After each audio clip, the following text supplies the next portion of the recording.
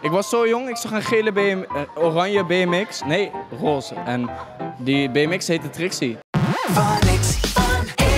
Emo is back.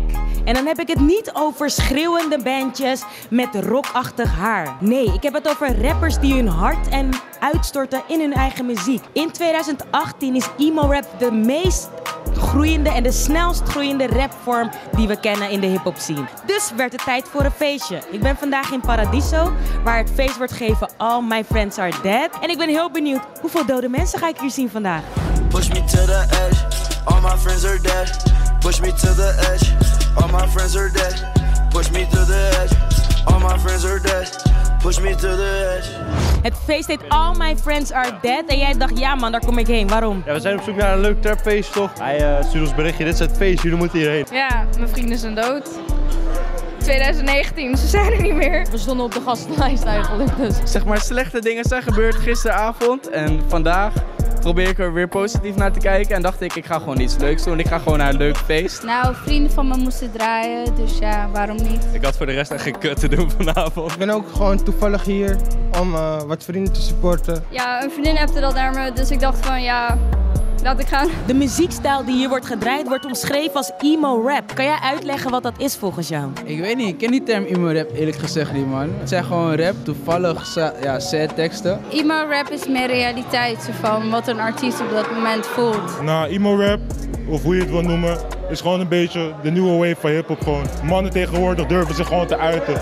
Mannen schamen zich niet meer voor hun emoties en dat is gewoon fucking dope. Ja, het is een soort van, er luisteren wel veel mensen zeg maar, naar die zich een beetje lonely voelen en een beetje depressed zijn af en toe. Ik weet niet wat dat is. De focus ligt eigenlijk op de jongens die net een heartbreak hebben gehad. Maar jongens doen altijd fucking tough over al die andere shit. Like, ze willen nooit toegeven dat ze ergens iets, iets, iets voelen of zo. een beetje sad vibes denk ik. Ik vind het wel chill om naar te luisteren. Het maakt me gewoon relaxed. Gevoelige dingen, gewoon rap, gewoon met die, met die uithalen een beetje toch? Wat ik mooi vind altijd is hoe ze dan een soort van hun kijk op het leven vertellen.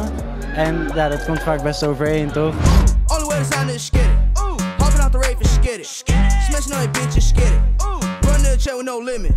Popping on X, popping on X, popping on chills. Als jij je emo rapnaam mocht kiezen in de lijn van Lil Xan, Lil, Lil Skies, Lil Peep. Geen leeuw, iets unieks. Gewoon iets wat opvalt, maar ja, niet, sowieso geen leeuw. De naam Lil is sowieso overused en verkracht door iedereen. Nou, ik heb ooit een bijnaam gekregen van maatjes van me, dat was Kraai, gewoon als in de vogel. Bij emo rap zou ik het zeg maar in het Engels translaten naar gewoon cry, dus gewoon huilen. Weet ik niet, ik ben zelf niet emo. Dus het zou een beetje fake zijn, toch? Moet wel real blijven als rapper. Sarah F. Baby. F Baby. Young D. Miller, denk ik. Leg uit, wat betekent dat? Darina Miller. Gewoon mijn naam. Super legend gewoon. Ik denk dat ik dan zo'n ehm, random porno name generator even moet raadplegen. Maar sowieso iets met porno. Ik was zo jong, ik zag een gele BM, eh, oranje BMX. Nee, roze. En die BMX heette Trixie. En ik was zo jong en ik noemde mijn, mijn dik noemde ik Trixie. Ik vertelde dat ooit gewoon aan vrienden om gewoon eerlijk te zijn. Tot de tweede klas noemden ze me Lil Trixie. Young Dean. Leg uit. Omdat dat ook gewoon mijn Insta-naam is. S. Moody. Ik ben heel lang, toch? Iedereen zegt Lil, dus misschien iets met groot. Lil Ari. Ik ben zelf echt heel lil. Ja, ik heet Ariane, dus Ari. Ik denk Immortal Goddess. Mijn naam, Amber, dat betekent onsterfelijkheid. Fosa baby. Chemico. Het is mijn bijnaam.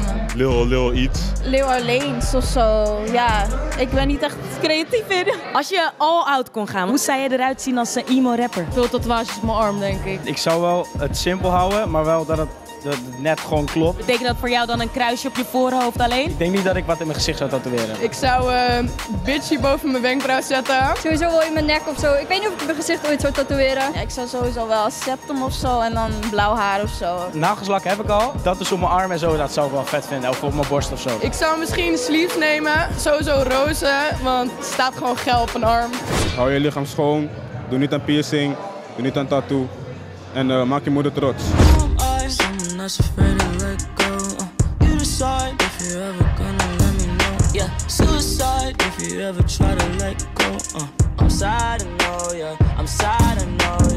Wat ook nog is met emo rap is, er wordt heel vaak gezegd van ja, het is te sad en ook dat drugsgebruik is te veel. En dat heeft slechte invloed. Wat vind jij daarvan? Je kan zeggen wat je wilt, het is slechte invloed, dit, dat, maar het is real. Het drugsgebruik wordt altijd negatief in beeld gezet, maar het gebeurt gewoon. En als iemand erover rapt, dan mag hij dat gewoon doen. Heeft verder geen invloed op jou of zo? Op mij persoonlijk niet, maar daar gaat het niet om. Ik zou niet zien dat de meeste mensen daardoor beïnvloed worden. Ja, ik vind dat je zelf wel moet weten of je het moet doen of niet. Ja, drugsgebruik, weet je, laat je jezelf goed voelen op wat voor manier dan ook. Maar ik bedoel, je hebt maar één lichaam. Ja, je verneukt het eigenlijk. Ja, het is wel zeg maar, een slecht voorbeeld als ze het promoten. Maar ik vind ook wel dat ze het soms in hun rap zeg maar, mentionen om zeg maar, een, als een cry for help. Doe niet aan drugs. Uh, ga naar school, doe je best. Nu ben ik eigenlijk heel erg benieuwd wat jij nou vindt van emo rap. Laat het even weten in de comments hieronder. Doe een duimpje omhoog. Vergeet natuurlijk niet te abonneren op ons kanaal. Mijn naam is Vanessa en ik check je in de volgende. Doei!